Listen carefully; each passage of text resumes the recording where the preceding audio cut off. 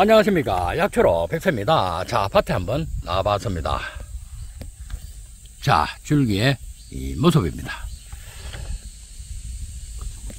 염증을 다스리는 약재로 많이 사용하며 겨울에도 꽃이 핀다고 이 감동하라 부르는 머위입니다. 잎줄기는 데쳐서 삼채소로 먹으며 이 장아찌로 담아 먹고 된장국에 넣어 먹습니다. 이 줄기 껍질을 이 벗겨 데쳐서 볶아서 먹으며 꽃봉오리는 살짝 말려 담금주로 담아 먹습니다. 뿌리는 생즙 내어 먹으며 말려서 차로 마시고요.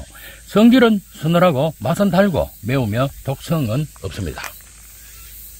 사포닌, 각종 비타민, 플라보노이드, 이 폴리페놀, 칼슘과 칼륨 등 좋은 성분들이 함유되어 있습니다.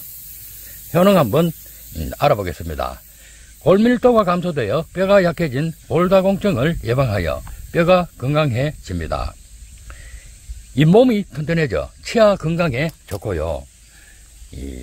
눈이 밝아져 시력이 정진되어 안구고전증을 예방하고요.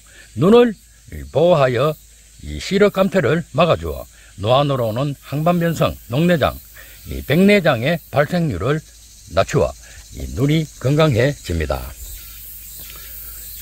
위백이 튼튼해지고 위점막을 보호하여 위장이 건강해지고요.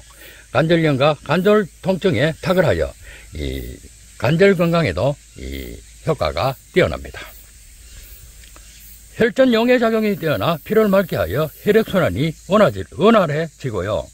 혈관 질환을 예방하여 혈관이 건강해집니다. 동맥경화증을 예방하여 심장이 건강해지고 중풍의 발생률을 낮춰 줍니다. 혈액이 맑고 깨끗해져 고, 혈압 고지혈증 치료에 탁월하고요. 기관지염, 천식을 다스리고 목 아픔, 목 통증을 개선하여 기관지가 건강해집니다. 또한 폐렴, 폐기력, 폐암으로 오는 폐질환을 개선하고요.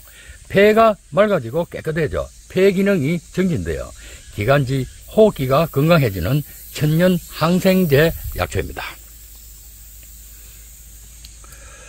강력한 항암 작용이, 작용이 있는 항암 약초입니다. 암세포만 골라 죽여 암세포가 기피하고 멀리하는 효과가 탁월합니다.